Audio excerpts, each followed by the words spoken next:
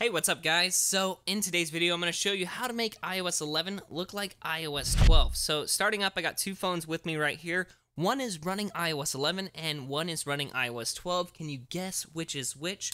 Well, unfortunately, you're probably wrong. This one's running iOS 12. This one is running iOS 11. But as you guys can see from the lock screen, the notifications look pretty much exactly the same. Again, just a second glance. You just scroll down right here you can see the apparent differences. They do look pretty similar, but unfortunately this one is the one running iOS 12. And again, we can just show less. But the notifications look pretty damn close. I will say this does look a little bit different, but for iOS 11, that looks great. Anyway, moving on from grouped notifications, we have this awesome thing in the app switcher. If it'll open up, oh my god. So in iOS 12, you can just swipe up to close apps now. Same with iOS 11 with just a couple of tweaks. Uh, what else? Okay, so the icons down here. This is iOS 12. The icons for voice memos and a couple other applications have been redesigned. Well, you can actually port that over to iOS 11 as well. And I'm really not sure if this last one is a jailbreak tweak or not.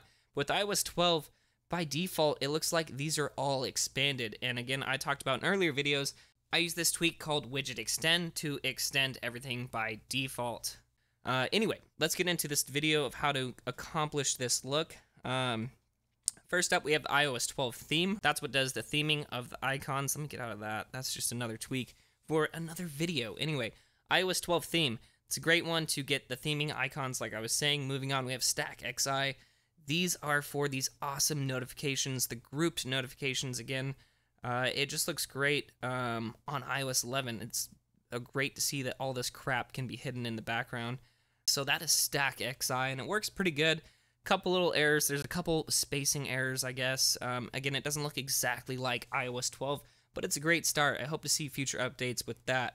Uh, so Fleeting Switcher 11 is a free tweak that allows you to uh, quit out of apps just like that by swiping up without having to invoke their wiggle mode or anything like that. I don't know why the hell Apple implemented that in the first place where you have to hold down on the app before swiping up.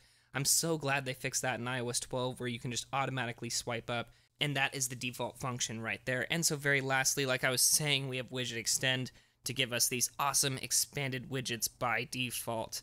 Anyway, guys, those are just four tweaks that I thought of off the top of my head to make iOS 11 look like iOS 12.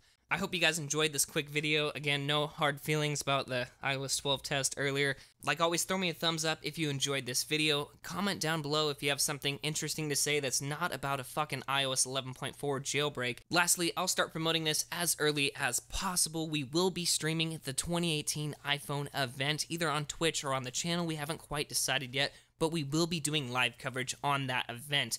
And while iOS 12 may not be that interesting, this year's Apple event with the new iPhones, new Apple Watch, potentially new iPads, and new Macs, it should be a pretty epic one to uh, be a part of. So if you guys want to stay updated on what Apple releases this year, again, subscribe, like, all that bullshit. But I will see you guys next week if you're interested. Anyway, guys, thank you so much for watching today's video. But until next time, this is Tony signing out. You